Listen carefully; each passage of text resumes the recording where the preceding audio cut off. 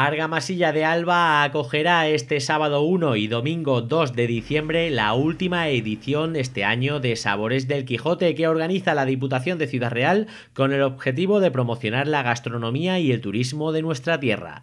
Los platos del Quijote serán los protagonistas durante un fin de semana donde se podrán disfrutar en el pabellón polideportivo de multitud de actividades como conciertos, masterclass a cargo de importantes cocineros, rutas de senderismo o degustación de tapas. El alcalde de Argamasilla de Alba invita a todos sus vecinos y ciudadanía en general a disfrutar de sabores del Quijote. Es un buen momento esta feria de sabores del Quijote para conocer lo que se hace en nuestra tierra y bueno y lo mucho que tenemos que ofrecer y sobre todo lo más importante el paisanaje, nuestra gente que es eh, lo más importante que nos caracteriza a los pueblos y en concreto a la Gamasilla de Alba. Somos gente de corazón abierto, estamos en plena llanura manchega. Numerosos stands podrán visitarse en el pabellón contando con la presencia de bodegas, queserías, la Almazara, Azafrán o Magdalenas de Argamasilla de Alba. Además, el sábado y domingo a las 10 de la mañana también se podrá conocer la localidad con diferentes visitas guiadas